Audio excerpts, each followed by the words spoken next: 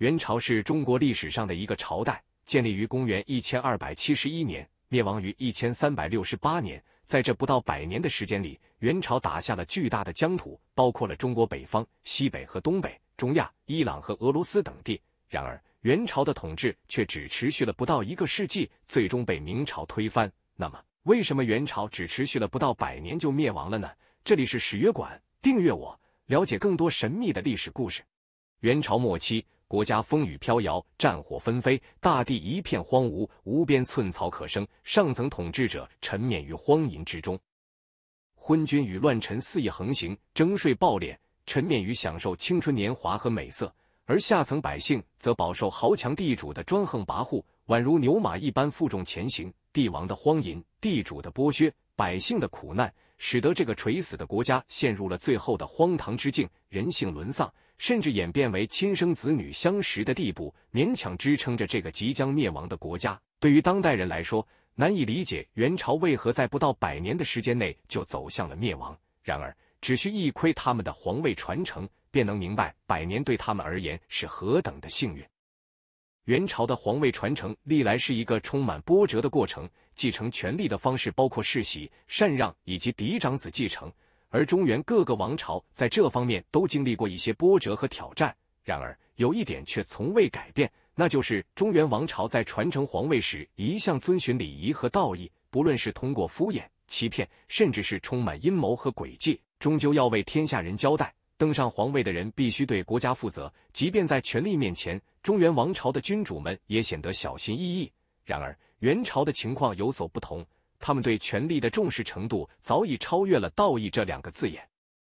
在面对天下人和家族成员时，他们更倾向于选择后者。弱水三千，我只取一瓢。这美好的句子在元朝皇室中却带有讽刺和贬义的意味。元朝的君主们对权力的渴望，使得他们的皇位传承变得混乱不堪。在他们看来，强取豪夺才是成功的途径。所有流淌着蒙古可汗血液的人都渴望执掌权力；所有在战争中立下战功的人都想要为之拼死一搏，在蒙古骑兵的世界里成就千古的人物留名。失败者却只能沦为坟土一堆。蒙古人的风俗文化独特而充满激情，战死的地方便是他们的安息之所。这种风俗为后世的权力争斗埋下了伏笔，特别是在元成宗贝尔纸巾铁木儿时期，皇权的传承就此断裂。元成宗铁木儿、元武宗海山、元仁宗爱育黎拔力八达等几位皇帝的权力传承与交接，虽然相对克制。但这并未改变元朝对权力的过度追求。在这个时期，权力成为了一场残酷的角逐，而这种追求权力的渴望，最终导致了元朝的衰落。元英宗硕德八剌时，权贵们开始展开残酷的权力斗争，利剑交错之间，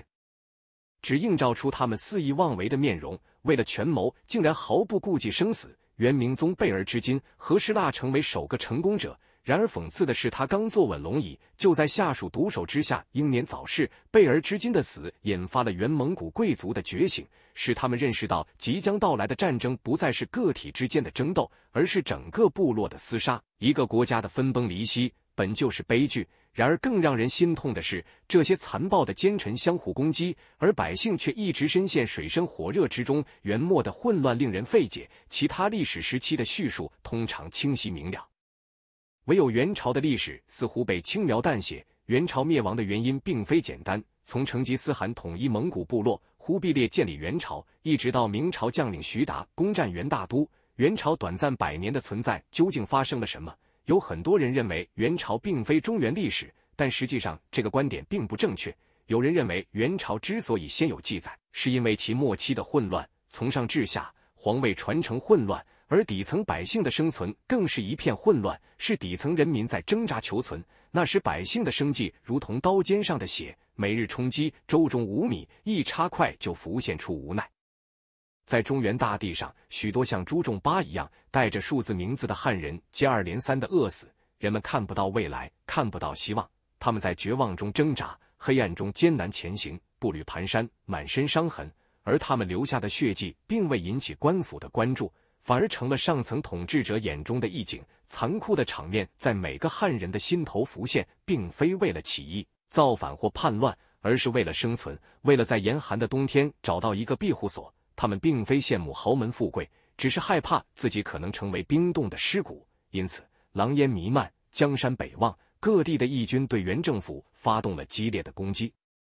即使身受重伤，也要在生命垂危之际坚守公道。然而，元朝却在进行怎样的活动呢？皇位的争夺仍在继续，国家岌岌可危，但他们却在讨论眼前的微不足道的私利。长达近百年的安逸生活，让这些人完全忘却了先辈们在马背上的英勇时光。一旦他们沉迷于龙椅的柔软，就已经失去了挥动武器的力量，只能任人宰割。混乱的历史终将谢幕，中原大地也将进入崭新的王朝。未来的道路或许坎坷，但至少民众已经看到了希望。元朝的政治制度不稳定是导致其灭亡的主要原因之一。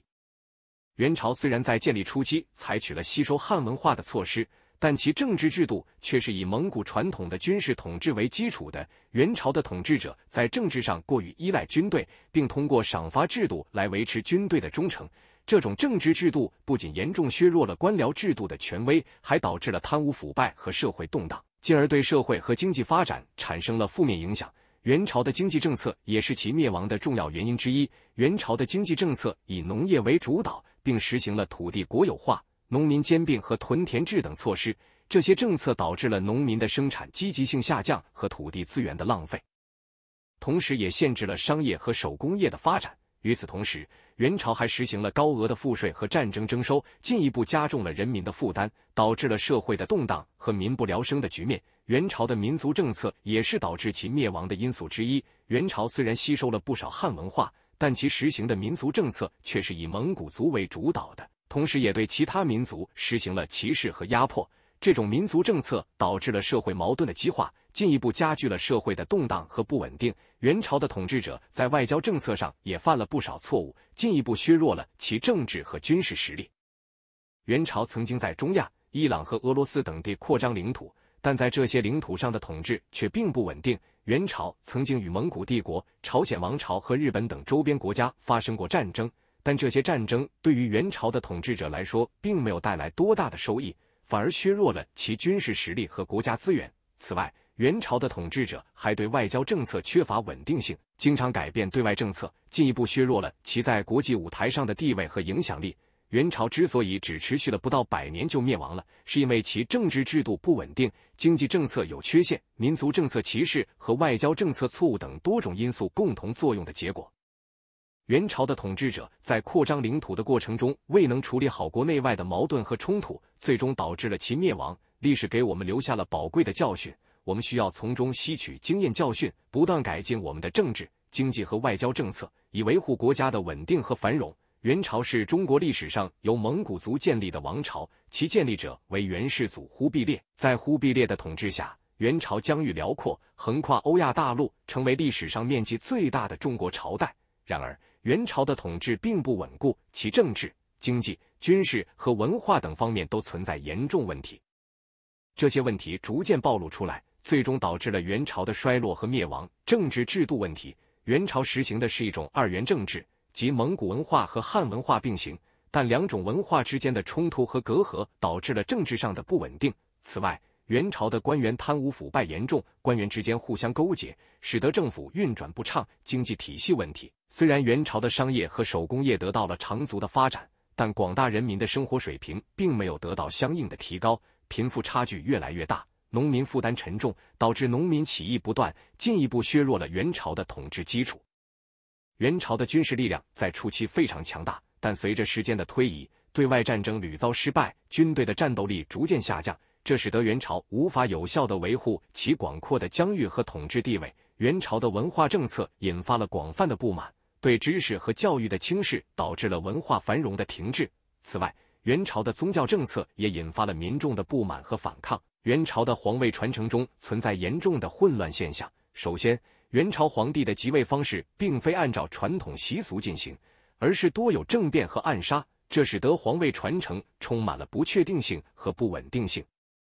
其次，元朝皇帝的继承制度也十分混乱，既有长子继承制，也有选举制，这导致了权力的争夺和政治的不稳定。最后，元朝的后妃干政现象也十分严重，皇后和贵妃们的权力斗争直接影响了皇位的传承。这种混乱的传承方式，最终导致了元朝的覆灭。元朝的衰落和皇位传承的混乱是多种因素共同作用的结果，政治上的不稳定、经济上的不平衡以及军事和文化上的衰退，共同为元朝的衰落埋下了伏笔。同时，元朝皇位传承中的混乱现象也加剧了政治的动荡和社会的分裂。